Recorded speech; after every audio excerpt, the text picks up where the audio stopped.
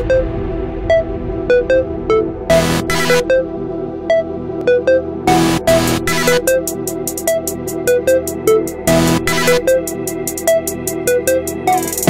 sports fans nationwide. You have entered the Sports Opinion Log here in Lex Anderson World. And in this video, well, need I say more? The day that you and I have been waiting for has finally arrived. The NFL kickoff 8:20 p.m. Eastern Standard Time. The Super Bowl defending champions, the Kansas City Chiefs, Patrick Mahomes, taking on the Houston Texans and Deshaun Watson. And who can forget when Deshaun Watson, with a three touchdown lead in a playoff game, blew it all and got annihilated by Patrick Mahomes and the Kansas City Chiefs.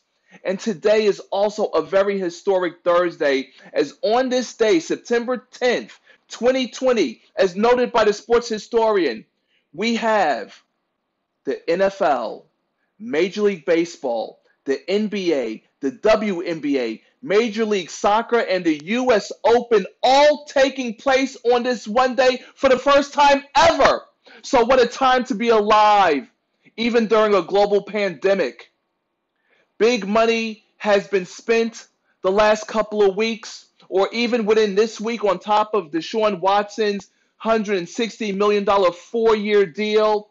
We have Jalen Ramsey, newly minted by the Los Angeles Rams, four years, $105 million, $21 million per season, making him the highest DB in NFL history. Von Miller, ankle injury, done for the season already. DeAndre Hopkins, two year extension with the Arizona Cardinals, worth what, $54 million? But he's guaranteed to see between 42 and $47.5 million. But sadly, it's with the Cardinals. So I'm sure this will be the last we ever hear of DeAndre Hopkins ever again. And of course, we have billion dollar taxpayer financed stadiums Las Vegas Raiders, Los Angeles Rams, who will be sharing with the Chargers. So, unfortunately, this will truly be an NFL kickoff and an NFL season unlike no other. Due to COVID 19, no fans in the stands.